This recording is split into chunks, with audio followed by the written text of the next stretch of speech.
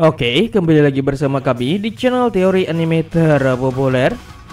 Pada kesempatan kali ini, kami akan membahas mengenai Sarada yang bertarung melawan cloning Sasuke Senju saat para Sumeka menyerang Konoha.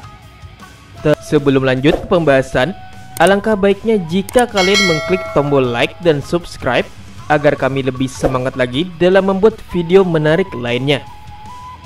Boruto chapter 4 akhirnya memunculkan sosok musuh baru yang ancamannya lebih serius lagi. Dikarenakan kali ini musuhnya adalah pohon Senju yang memiliki egonya sendiri. Iya, walaupun saat ini Utsutsuki bisa dibilang sudah tidak ada lagi di bumi karena sudah dikalahkan oleh desa Konoha.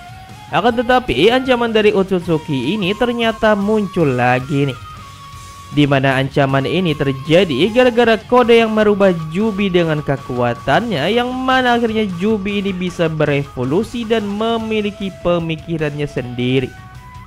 Iya, gara-gara kode Jubi akhirnya berevolusi dan jadi memiliki ego atau kehendaknya sendiri. Yang membuat yang dulunya Jubi hanyalah monster yang tidak memiliki akal jadi memiliki akal dan pemikirannya sendiri di mana Jubi ini akhirnya membuat empat kesatria terkuat yaitu cloningan dari beberapa orang kuat seperti Sasuke, Mogi, dan dipimpin oleh Jigen di mana para Senju ini memiliki renegan asli di mata mereka. Nah, para Senju ini memiliki mata renegan yang mana hal ini mirip dengan Pain dulu di mana Pain juga memiliki mata renegan pada keenam Painnya. Akan tetapi ada perbedaan antara para Senju ini dengan para Pain yang sangat jauh di mana Pain adalah para mayat hidup yang dikendalikan oleh Nagato yang memiliki renegan asli. Sedangkan untuk para Senju adalah makhluk hidup ciptaan Jubi yang memiliki renegan asli di tiap matanya dan memiliki pemikirannya sendiri tanpa dikendalikan oleh apa pun. Di mana karena mereka hidup, Para Senju ini memiliki kekuatannya masing-masing hasil dari cloningan mereka. Seperti ada Senju Sasuke yang bisa menggunakan jutsu Sasuke itu Chidori. Dan di sini pun kami juga curiga nih bahwa selain bisa menggunakan berbagai jutsu shinobi yang mereka cloning, para Senju ini juga bisa menggunakan jutsu mata renegat. Seperti yang bisa digunakan oleh Nagato dan Sasuke. Seperti ada Shibaku Tensei, Shinra Tensei mengambil jiwa, berteleport, dan kekuatan Renhegan lainnya. Yang membuat para Senju ini adalah musuh yang semakin overpower di mana selain memiliki kekuatan dari shinobi yang dia ambil. Para Senju juga memiliki mata Renegan yang banyak memiliki kekuatan dewa. Nah, tujuan utama dari Senju ini adalah mereka ingin menguasai dunia dengan menyerap habis energi bumi. Namun mereka harus mendapatkan Utsutsuki dulu untuk dijadikan tumbal yaitu Boruto ataupun Kawaki. Dan sepertinya nih mereka akan mengincar Kawaki yang berada di Konoha deh. Karena untuk Boruto dia sangat sulit untuk ditangkap karena dia memiliki mata Jogan yang bisa melihat tembus antar dimensi. Dan inilah alasan mengapa Boruto sampai saat ini masih belum bisa ditangkap oleh Kode ataupun desa Konoha yang sedang memburunya yang membuat sepertinya para Senju akan lebih memilih Kawaki ketimbang Boruto. Dan jika para Senju ini lebih memilih untuk menangkap Kawaki ketimbang Boruto, maka hal inilah yang akan terjadi selanjutnya pada manga Boruto. Check this out. Nomor 1. Para Senju menginvasi Konoha. Nah, ada kemungkinan besar nih para Senju ini nantinya akan menyerang Konoha dalam waktu dekat ini di mana ada dua tujuan yang membuat mereka jadi datang ke Konoha. Yang pertama adalah para Senju ingin menangkap Kawaki untuk dijadikan tumbal makanan Jubi. Karena Jubi perlu memakan Utsutsuki untuk bisa menyerap energi bumi. Lalu yang kedua adalah bisa saja nih kedatangan para Senju ke Konoha ini adalah untuk memperkenalkan diri mereka kepada dunia bahwa dunia saat ini dunia shinobi sedang terancam karena kehadiran mereka. yang membuat akhirnya dunia shinobi yang dulunya aman sentosa malah kembali ke era peperangan di mana hilangnya kedamaian gara-gara kemunculan Senju yang ingin menyerap dunia shinobi ini. Nomor 2, Sarada versus Senju Sasuke. Nah, saat para Senju ini nantinya menyerang desa Konoha, kami yakin sepertinya akan ada hal seru yang akan terjadi selain adanya sebuah pertempuran nih. Di mana hal ini adalah akan adanya pertemuan antara Sarada Sakura dengan Senju Sasuke. Di mana hal ini pasti akan sangat membuat Sarada dan Sakura terkejut. Iya, ada indikasi nih bahwa sepertinya Sakura dan Sarada tidak tahu bahwa Sasuke sudah terjebak oleh pohon Senju. Di mana Sasuke telah tersegel dan cakranya dikloning oleh si Senju ini. Yang membuat akhirnya saat Sasuke muncul di hadapan Sarada, Sepertinya Sarada awalnya akan bahagia karena setelah sekian lama, akhirnya Sarada bertemu dengan Sasuke kembali.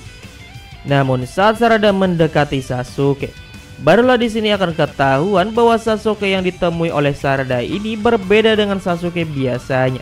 Dan saat Senju Sasuke ini menyerang Sarada, barulah Sarada sadar bahwa orang yang dihadapannya itu bukanlah ayahnya, namun sosok ini hanyalah sosok yang mirip dengan Sasuke saja nih. Dan yang paling seru adalah Sarada harus melawan Senju Sasuke yang memiliki kekuatan sama persis dengan Sasuke asli. Di mana di sini akan ada adu kekuatan antar dua Uchiha. Dan yang pasti sepertinya akan ada adu Chidori antara Senju Sasuke versus Sarada ini. Di mana kita di sini akan bisa melihat seberapa hebatkah Sarada saat ini. Di mana di sini hanya ada dua kemungkinan nih. Di mana di dalam pertarungan ini Sarada lah yang menang atau Sarada kalah dan ditolong oleh Boruto yang datang ke Konoha. Nomor 3, Senju menjadi ancaman dunia shinobi. Setelah 20 tahun dunia shinobi damai setelah selesainya perang dunia shinobi keempat melawan Madara dan Kaguya. Akhirnya kedamaian ini akan sirna akibat munculnya musuh baru yang mengguncang dunia shinobi di mana musuh ini adalah para senju yang tercipta dari Jubi yang ditambahkan kekuatan kode. Di mana para senju ini malah memiliki pemikirannya sendiri. Dan bukan hanya memiliki pemikiran saja, para senju ini juga memiliki kekuatan dari para shinobi yang mereka ambil.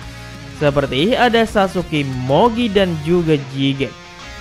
Dan sepertinya nanti untuk menunjukkan kehadiran mereka, para Senju ini akan mulai menyerang berbagai desa shinobi yang membuat dunia jadi tidak damai lagi nih. Di mana aliansi shinobi akan tercipta lagi untuk melawan para Senju yang memiliki kekuatan dewa dari Jubi dan juga mata Renegat.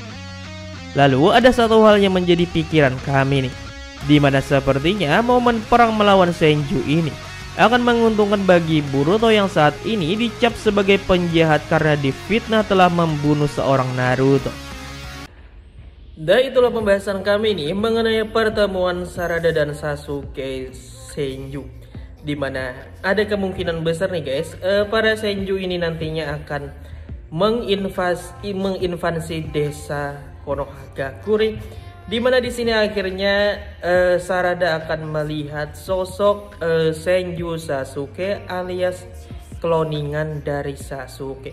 Di mana ada kemungkinan besar nih Sasuke Senju ini akan melawan Sarada di dalam sebuah pertarungan di mana Sasuke Senju ini memiliki uh, kemungkinan 80% kekuatan asli dari seorang Sasuke. Jadi bagaimana menurut kalian guys?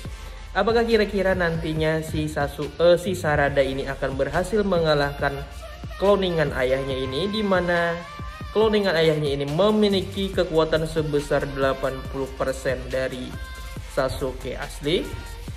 Ataukah di sini Sarada malah akan kalah dan akan ditolong oleh Boruto?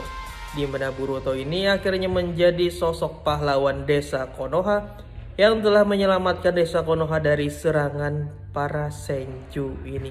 Di mana para Senju ini selain memiliki kekuatan mata renegan, mereka juga memiliki uh, semua kekuatan dari orang yang mereka cloning tersebut. Jadi bagaimana menurut kalian guys? Tulis jawaban kalian di kolom komentar di bawah ya. Uh, terima kasih telah menonton, sampai bertemu kembali di video selanjutnya. Bye-bye.